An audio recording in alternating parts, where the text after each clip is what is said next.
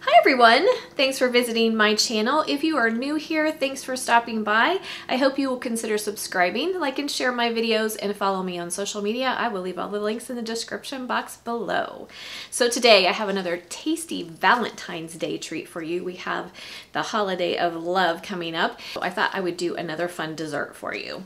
Uh, last time we did chocolate covered marshmallows. If you missed that, make sure you go back and check those out. Those marshmallows are delicious. They were chocolate covered strawberry marshmallows and just really decadent. So give those a look if you haven't watched that video. Um, but today we're gonna be making white chocolate cheesecake with chocolate raspberry sauce. Now, a few months back, I did make this delicious chocolate raspberry sauce and we canned it up. But if you do not have this on your shelf or you are not a canner, don't worry because I'm going to leave modifications in the description box below for making just a single batch of it uh, that will be perfect for the size of cheesecake.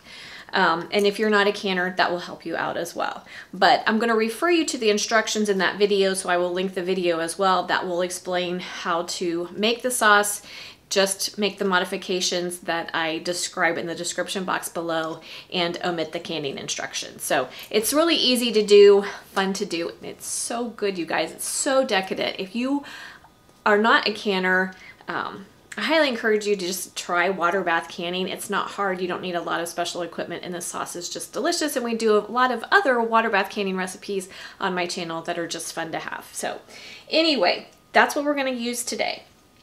Then we are going to start with a delicious Oreo cookie crust. Who doesn't love Oreos? Um, delicious chocolate base for our cheesecake. And then we're going to be making a white chocolate cheesecake filling. Absolutely divine chocolate on chocolate, right? So for our cheesecake filling, we are going to need some delicious white chocolate. I'm going to be using two bars of the Ghirardelli white chocolate. Just a word to the wise, make sure that whatever chocolate you decide to use, that it is in fact chocolate. Make sure you read the ingredients to make sure that it includes cocoa butter. If it does not include cocoa butter, it is not chocolate. Um, the Ghirardelli bars have cocoa butter in them and so do the Baker's baking bars. Those also include cocoa butter, um, but if you are just using the white chips that you find in the baking aisle of your grocery store, those typically do not contain cocoa butter and they are just vanilla flavored chips. So just a word to the wise on that. Make sure you select a high quality chocolate to make your cheesecake taste as delicious as possible. So uh, the other ingredients for the cheesecake, we're going to be using four eight ounce bricks of cream cheese. I like Philadelphia cream cheese. That is just my favorite. Use whatever you have on hand or whatever you like.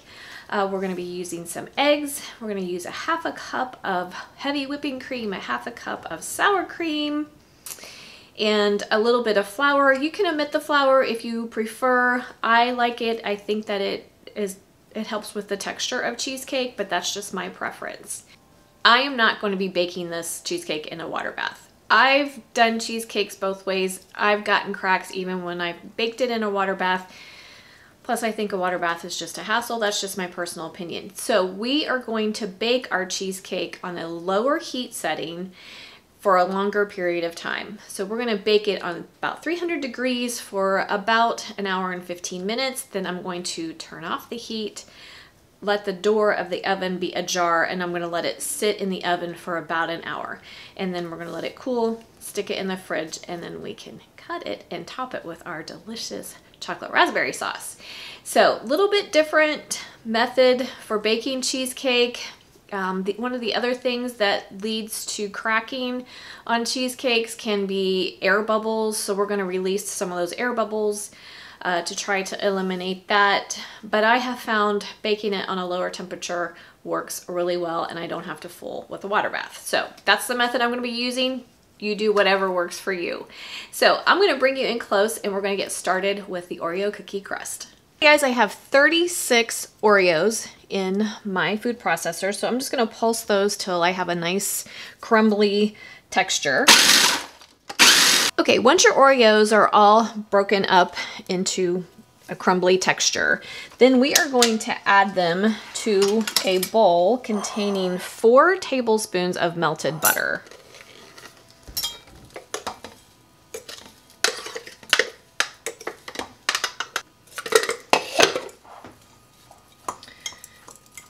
Just stir those until they're combined. Once you have your crumbs incorporated into your butter, we're going to pour that in our springform pan.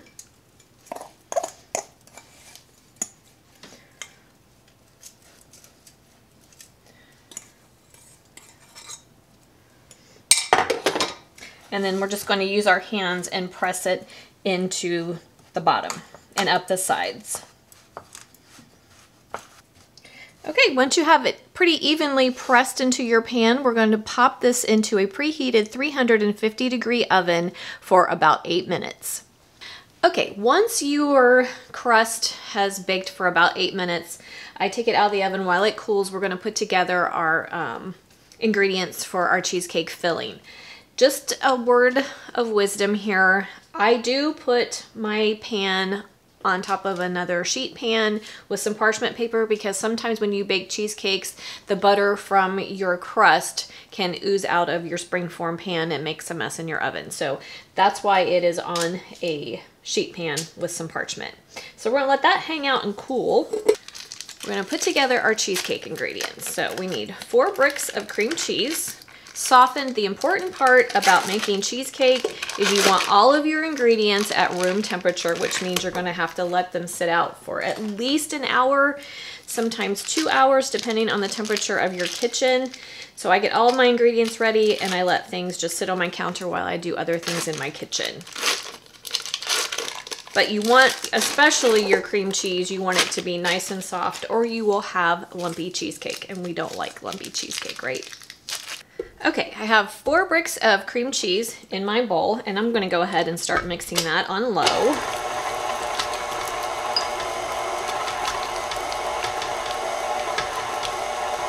And then I'm gonna turn it up to a medium speed for about 30 seconds or so, just to make sure that my cream cheese is nice and smooth. Okay, so after 30 seconds, you are going to go ahead and add three quarters of a cup of sugar. We're going to add a half a cup of heavy whipping cream.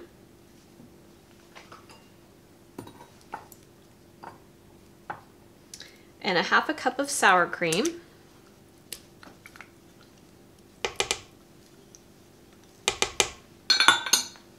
And we're going to mix that till it's fully incorporated. Start on low and then move it up to a medium speed. Okay, after about 30 seconds, I scrape down my bowl. And this step is really important if you want a nice, smooth, creamy cheesecake.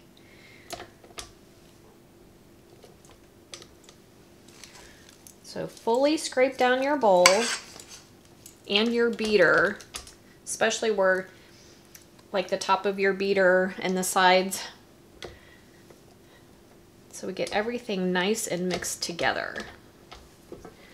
So turn that back on medium speed for about another 30 seconds. Okay, see how smooth and creamy that is? I hope that comes across on camera because it's so smooth in texture and that's exactly what we want. So now we are going to add our eight ounces of white chocolate that has been melted and slightly cooled.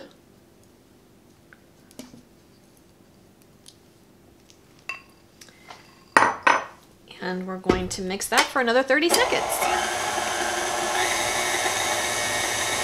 I'm also going to add a tablespoon of pure vanilla extract.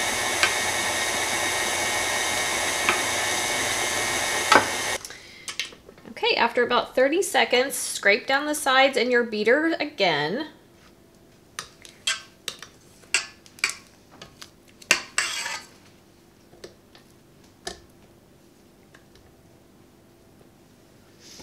And now we're going to add our eggs one at a time and we're going to mix this on a low speed one at a time until each egg is incorporated.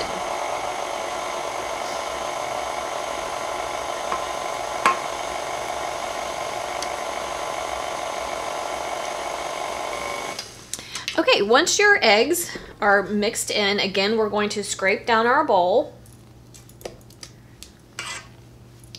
trust me, you guys, it's worth it to take the time to scrape down your bowl and make sure everything is fully incorporated.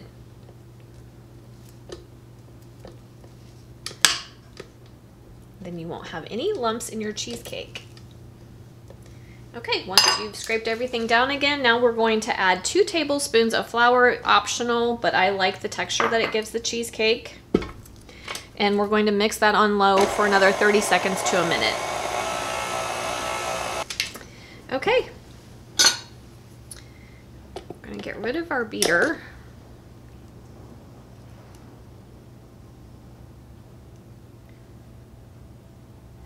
And once again, I'm going to scrape down the sides of my bowl just to make sure there's no rogue flour hanging out there. Okay, so now what we want to do, we want to get rid of any as many air bubbles as we possibly can. So what I do is just put a towel or a pot holder on my, because I have a granite countertop and we don't want to crack it. And we just want to tap the bowl about 20 to 30 times. And you can, if you watch closely, you can see that bubbles are coming to the surface and they're breaking open.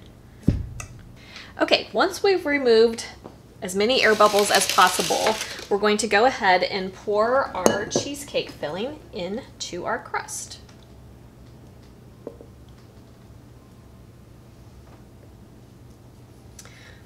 Look at that. Smooth, creamy, cheesy, dreamy cheesecake. Yum. Oh. Okay, so now we're going to put this in a 300 degree oven. I reduced my heat when I took my crust out, so we are at 300 degrees now.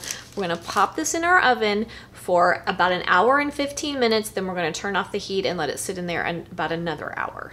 Okay guys, my cheesecake has baked for an hour and 15 minutes. So now I'm going to turn my oven off and I am going to make the do door of the oven just a little bit ajar. You want to open it just a little bit and we're going to let our cheesecake sit in the oven for another hour or so. Still keep an eye on it. At this point the edges should be set and the middle of it is still going to be jiggly. So we want it to finish cooking and hopefully it won't crack. We'll see how it goes. Uh, but you turn the oven off, make your door ajar and let it sit for an hour and then we can take it out. We're gonna let it cool at room temperature until it's cool enough to refrigerate and then we'll stick it in the refrigerator for several hours, even overnight if you're doing this the day before. But we're gonna taste it later today, no matter where we are. So I will bring you back uh, when we're ready.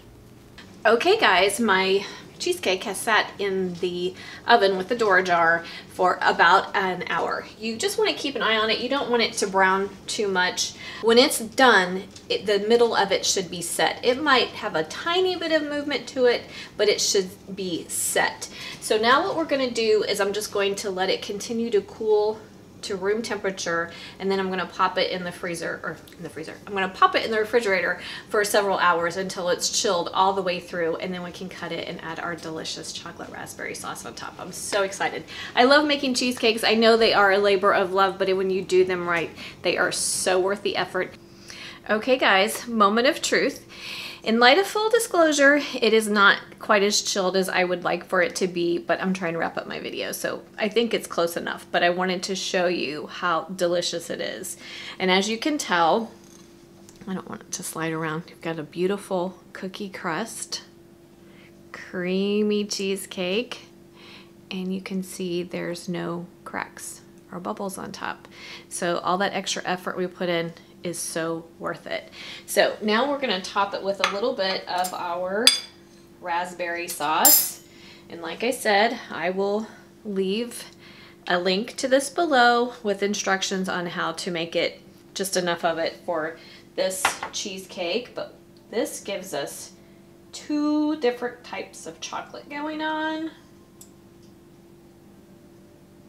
And this raspberry sauce is just amazing. And it's so perfect for Valentine's Day. And of course we have to have a little whipped cream just like they do at Cheesecake Factory, right? Look at that. Is that not just beautiful?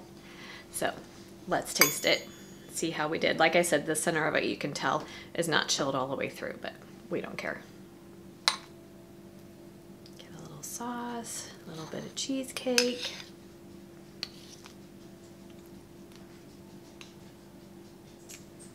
Mm-mm-mm.